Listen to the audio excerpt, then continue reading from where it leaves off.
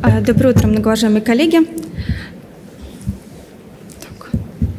А, известно, что опухолевый метаболизм а, отличается от нормальных клеток, и опухолевые клетки даже в присутствии кислорода используют гликолиз. Этот эффект называется эффект Варбурга. Однако на сегодняшний день известно, что не всем опухолям характерен эффект Варбурга.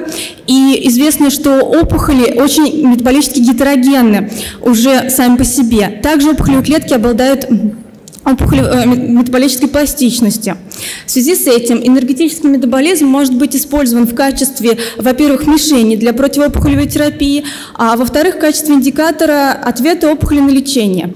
И поэтому мы исследовали опухолевый метаболизм методами флуоресцентной микроскопии с временным разрешением по флуоресценции эндогенных флуорофоров.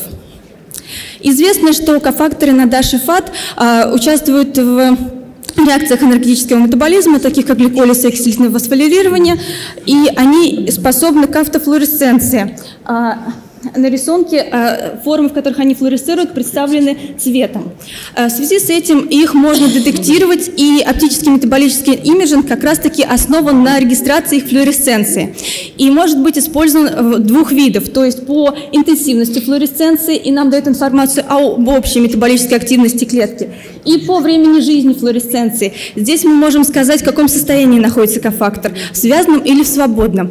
И если у нас э, редокс отношения фат, деленный на надаж, падает, а отношение связанного надаж к свободному растет, то мы можем говорить, что в клетке преобладает гликолиз. Если же у нас наоборот – редокс отношения растет, а вклад свободного на даж, деленный на связанный, падает, то мы можем говорить о митохондриальном дыхании. В чем плюс этого метода? Во-первых, он не инвазивный, а нам не нужно никакое дополнительное окрашивание, мы смотрим только в живых клетках и никак не влияем и не убиваем клетки, то есть это совершенно безопасный для клеток метод для, и для организма, естественно.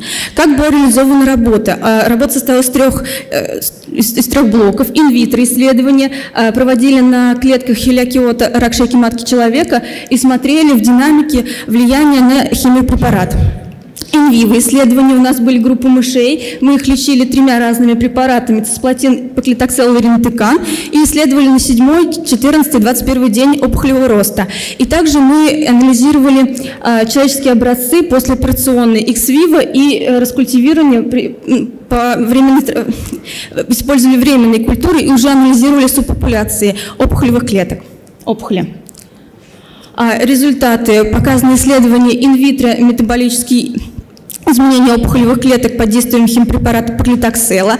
Мы можем выделить три субпопуляции клеток. Это мертвые клетки, которые погибли в результате химиотерапии, клетки, которые изменили свою морфологию, они превратились в такие шарики, ошарились, можно сказать, но остались живыми после химиотерапии в течение 24 часов, а также э, опухолевые клетки, которые не поменяли свою, э, свою морфологию, они остались такие же, как и были раньше, как и в контроле.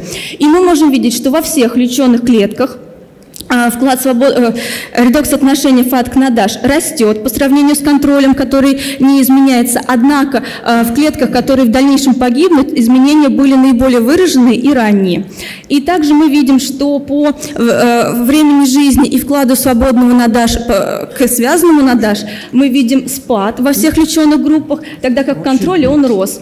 Это говорит о том, что а, после химиотерапии все клетки поменяли свой метаболизм, однако в наиболее, э, клетки, которые погибнут, наиболее чувствительны к химиотерапии данной, а, изменения э, ярко выражены и протекали быстрее.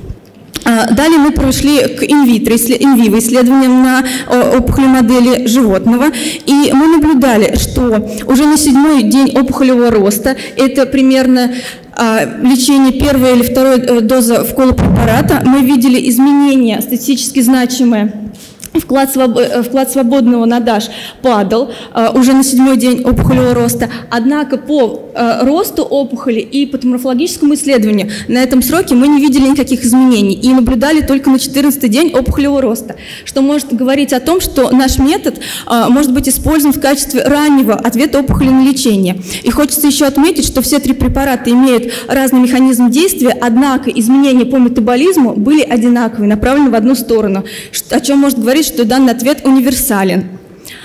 А, Далее мы работали с опухолями пациента и на настоящий момент разрабатываем эту методику.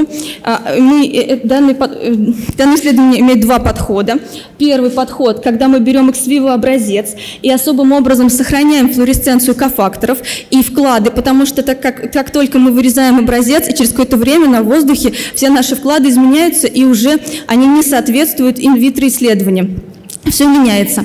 Но мы добились э, консервации, скажем так, э, данных статусов и можем говорить о том, что опухоль очень сильно метаболически гетерогенна. Однако неизвестно, с чем это связано. Это может быть как клетки сами опухолевые гетерогенны по метаболизму, так и вклад э, ра- разные значения метаболического фактора от опухолевых клеток и от фибробластов. И тогда как после раскультивирования отдельно опухолевых клеток сверху и фибробластов, мы можем говорить о том, что у нас э, популяции опухолевых клеток отличаются от опухоли-ассоциированных фибробластов этой же самой опухоли.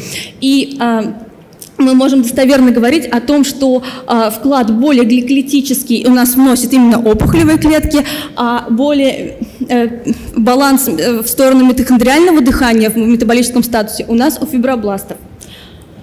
А В качестве выводов можно сказать, что показана возможность применения метаболического имиджинга для регистрации раннего ответа опухоли на лечение, что этот ответ универсален, и метаболический статус опухоли клеток при химиотерапии меняется однонаправленно и не зависит от механизма э, препарата. Также разработана методика метаболического имиджинга в постоперационных образцах опухоли пациента ex-vivo, и данная методика может быть перспективна для анализа раннего ответа опухоли на лечение у пациентов. Спасибо за внимание.